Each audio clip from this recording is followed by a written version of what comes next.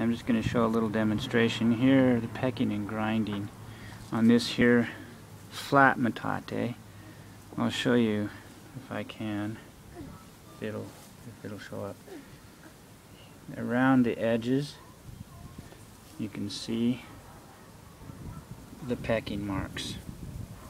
As you get inside a little bit in here you can see where it's been ground with a, a mano and it's so you can tell the difference there.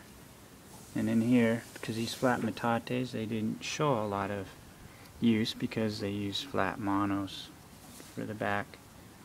You know they use these. And so then and so then it, it didn't go and indent it didn't indent. Um, and so but I just wanted to show the how you can see the pecking marks on the outside and then you can see where it's really pretty smooth and you know not as many pecking marks. You can't see the pecking marks on the inside uh, you know where they ground a lot.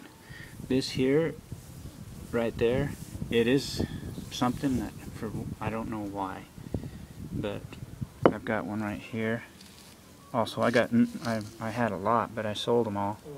And they're all they all have that in them um, and I, I'm not sure why but it's not necessarily a mistake or a bro or a break. It uh, must have uh, been something where they could go up against something. I, I don't know.